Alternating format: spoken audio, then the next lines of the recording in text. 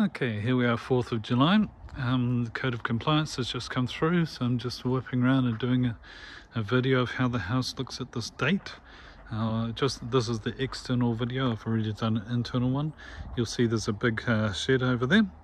Uh, obviously a, a, division fence.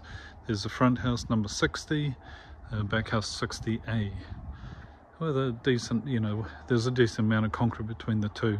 So here you can have car, one car parked there, one car parked here, that's quite long, um, so that you've got a bit of space so that the cars can, uh, both cars can reverse and then go out.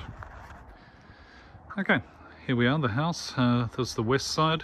So as you can see, it gets a ton of sun, um, as especially as the sun goes down lower. I'll show you, here's the, the deck so the deck goes the whole way of the west side.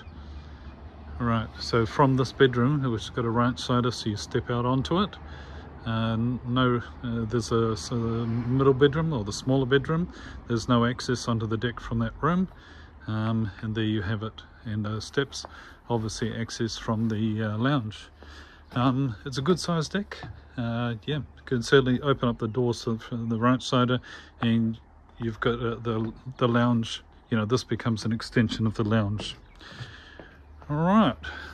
Good bit of good bit of grass to mow. Here we are. This is the south side. And just walking around show you the east side.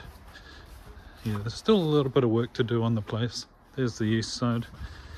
Um, yeah but uh, we can get that done over uh, as time goes on yeah so you park a car there you walk up here and that's your main entrance to the to the house.